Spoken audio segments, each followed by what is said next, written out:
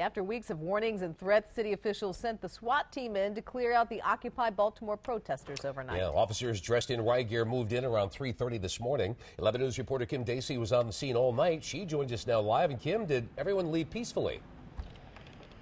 Yes, Dan, for the most part, it was a very peaceful protest. I actually just got off the phone with the mayor's office just a couple of minutes ago, and they confirmed that there were no arrests and no injuries during this whole operation. So that's some good news. They estimate about 30 people were removed from McKeldin Square. 18 of those people accepted services from a homeless shelter to go there instead of staying at the camp from now on. Now, as for why it was today, well, according to the mayor's spokesperson, it was time to enforce that anti camping policy.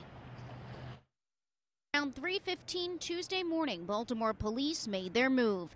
They blocked off roads around McKeldin Square where Occupy protesters have camped out for several months. It's not about private property really. It's that this is a home. This world is public to us as people, as citizens of the world. Just before 3:30, a line of police officers filed in and surrounded the camp. They escorted the protesters out and across the street. We were fighting for our rights, but I guess the government doesn't like it.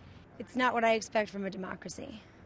It's not what I expect from America, which was built on the right to peaceably assemble and to voice dissenting opinions that makes us stronger. Though they didn't know when, some other protesters say they knew they'd be forced to leave McKeldin Square at some point. We've been warned of many things in the past, and it is what it is. We're all kind of waiting to see what uh, what the mayor would do about this and what the police, how the police would actually act and react.